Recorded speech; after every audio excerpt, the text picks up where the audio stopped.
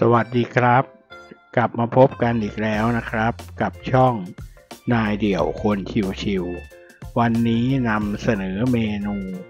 ยำปลากระป๋อง เดี๋ยวเราไปดูวัตถุดิบและขั้นตอนในการทำกันเลยนะครับ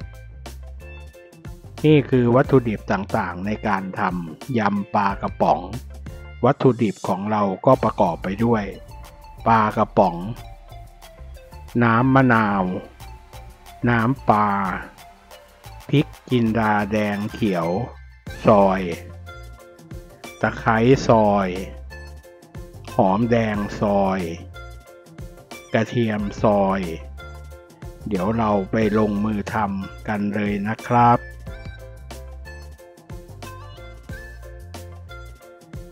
เดี๋ยวเราก็จะนำปลากระป๋อง ใส่จานไว้ก่อนนะครับ ปลากระป๋องครั้งนี้เราใช้สองกระป๋องนะครับ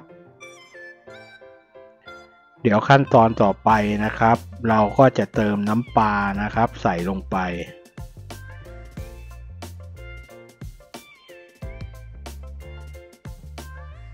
เสร็จแล้วก็ตามด้วยน้ำมะนาวนะครับ ใส่ลงไป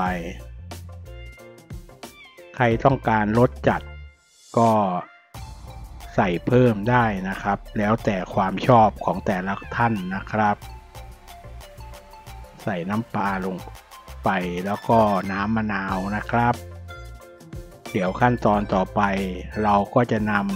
ำเครื่องเทศทั้งหมดนะครับ ที่เราหั่นเตรียมไว้ใส่ลงไป ก็กระเทียมซอยนะครับ ใส่ลงไป เสร็จแล้วนะครับ เดี๋ยวเราก็จะไล่ทยอยใส่ทั้งหมดเลยนะครับ ตามด้วยหอมแดงซอยนะครับ ใส่ลงไป เราจะยังไม่ผสมคลุกเคล้าทั้งหมดนะครับ เราก็จะนำเครื่องเทศทั้งหมดใส่ลงไปก่อน แล้วเวลาที่เราจะ ทานเราค่อยอย่าทำการคลุกเคล้าทั้งหมดเข้ากันนะครับ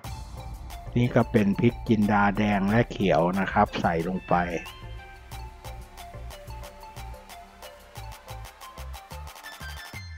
สุดท้ายเราก็จะใส่ตะไคร้ซอยนะครับ ใส่ลงไป ใครชอบเครื่องเทศตัวไหนมากก็ ใส่ได้ตามชอบเลยนะครับ ยำปลากระป๋องของเราก็เสร็จแล้วนะครับ ประมาณนี้ เดี๋ยวเวลาที่เราจะทานเราก็คลุกเคล้าทั้งหมดให้เข้ากันนะครับสำหรับเมนูนี้ชอบก็กดไลค์ กดแชร์ กดติดตาม ให้กับช่องนายเดี่ยวคนชิวๆด้วยนะครับ และอย่าลืมกดกระดิ่ง พื่อแจ้งเตือนเวลามีคลิปใหม่ๆ ลงจะได้ไม่พลาดการติดตามนะครับสำหรับเมนูนี้ก็ฝากไว้เพียงเท่านี้นะครับ ก็ติดตามช่องนายเดี่ยวคนชิวๆต่อนะครับ ว่าเมนูหน้า